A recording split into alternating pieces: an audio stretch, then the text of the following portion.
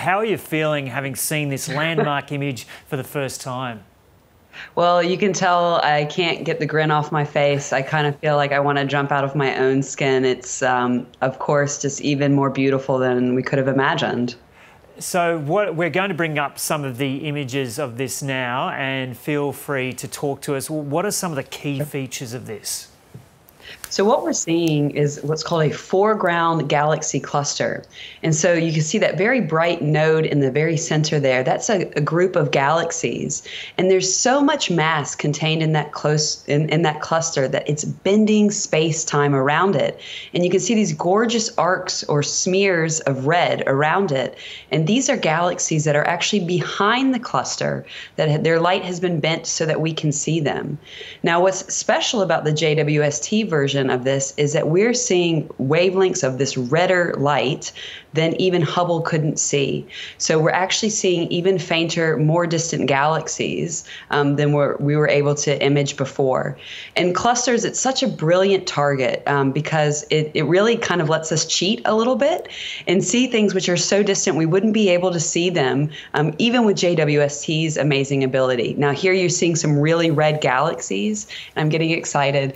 Now, some of these are going to be extremely distant and they probably existed, their light reached us is coming from uh, billions of years ago. So when the, the universe was maybe only a few billion years old, it's now almost 14 billion years old. And this right, this really bright red galaxy, kind of to the uh, right. Now that could be a bright dusty galaxy. And so we have this degeneracy where things might be old, but they could also be very dusty from a lot of star formation. So JWST is going to be able to help us identify these really important galaxies that help us understand how galaxies form stars and grow over time time. So that red light can be very old stars, and it could also be from a lot of dust from very active star formation. And, so it's a really important process. And so I'm probably going to ask a few dumb questions here, so forgive me, but, but how uh, the the light has travelled to us over a long period of time. So is it the case that some of these galaxies might might not exist anymore, or might look very different now to what we're seeing, considering this has taken so long for for the light to get to us? That's right. So what we're seeing is, is, especially see this galaxy here that's kind of in the, the bottom center that looks like a red, kind of a red streak. Now, that is probably a very distant galaxy that's very dusty and forming a lot of stars, and we're seeing its light as it would have been probably when the universe was only a few billion years old. And so that's incredible because now it might look much like our Milky Way galaxy okay. does. It might have formed a lot of its stars.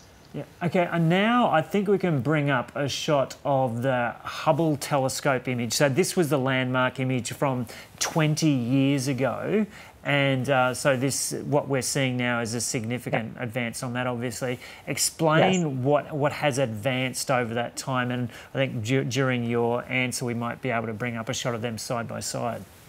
Yeah, look, fantastic. So Hubble still groundbreaking, phenomenal. Um, this image that we're seeing, you know, it would have taken much longer to get the kind of what we call depth, so the amount of light that's captured from those faint distant sources, but also the type of light. So the the redder wavelengths, there's just a limit to what Hubble could see compared to JWST.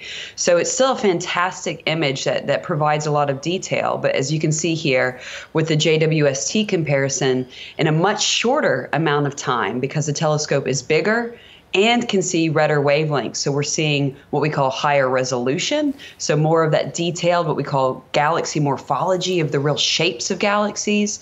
And we're detecting light, like you see this bright red blob here. Um, it's very scientific terminology.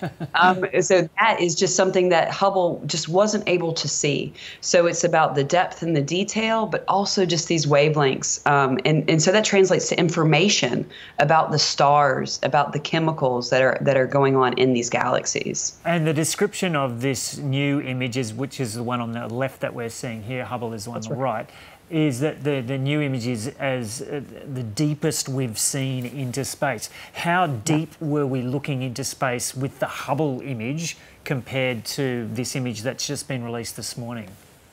So, with the Hubble image, the deepest that we're probably able to see is galaxies that were um, formed, or the light from galaxies when the universe was probably about a billion years old, that would be the very furthest that we could see. And I imagine JWST will will have pushed beyond that, and we'll see. And it's a bit challenging because the scale when we're talking about things like redshift. So that's how far away you know the light is and what time it is in the universe.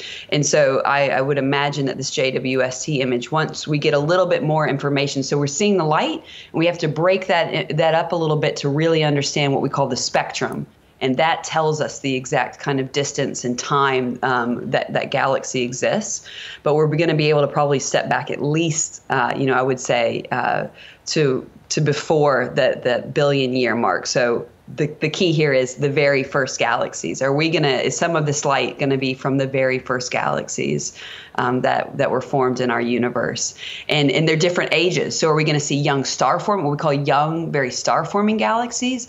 Are we also gonna capture some of the most mature, mature, so galaxies that have already formed, like you see here, maybe the bulk of their stars, um, and already in the very early universe. And those are going to be those very tight, tiny little faint smudges that you see. This galaxy here is probably um, much closer. Um, and again, these ones that you see here, the, the very bright, fuzzy red blobs, those are the ones um, that we're the most interested in because they're probably seeing one galaxy that before maybe wasn't resolved. It was one small patch of light, and now we're actually seeing more of that structure. And so, for somebody like me that cares about the sizes of galaxies, well, we've just revealed a whole other part of their um, structure, which is so important for understanding how they gain mass and grow over time. And Rebecca, this is just a tiny speck in the sky, this image that we've got. You, you've obviously understood for a long time that there's a whole lot out there, but seeing this image today, does that kind of expand even, even your, your mind about just how uh, much is out there? Yes, look, I'll be honest. When when uh, they were doing the press release, I was like, just get to the picture, and I was like this close to the to the frame, just trying to make out all of the detail. But even in this teeny tiny little um, element, like you said, we're seeing these gorgeous streaks um, from the cluster's gravity um, in detail like never before. So just the amount of science that we can get from something that's literally the size of a grain of sand on the sky, um, that tells you just how how deep how much we're, we're getting back in time.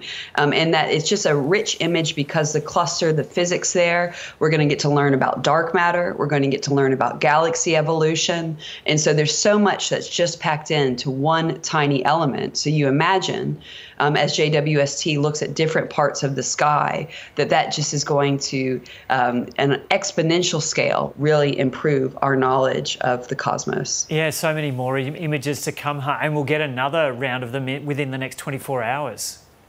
That's right. So this is, you know, as a galaxy uh, person, I love seeing this image. But what JWST is also going to be able to reveal is where stars are born. So light that has been hidden from us um, and, and hidden from us at a specific kind of resolution. So we'll be able to see things more clearly that were hidden from view. And then we'll also be able to see the spectrum of planets that exist outside of our solar system. And, and as was alluded to before, potentially to see if they have have water. So uh, just incredible. It's not just about galaxies. Um, we are going to get to see, to really learn more about how stars are formed and even looking at greater detail planets um, that just aren't our, you know, wonderful solar system planets. Okay, it's been so cool to chat to you, Rebecca, and feel your energy, energy about this as well. And I love that you describe Absolutely. yourself as a galaxy person as well as an astronomer. Catch you later. That's right. Cheers. Thanks so much.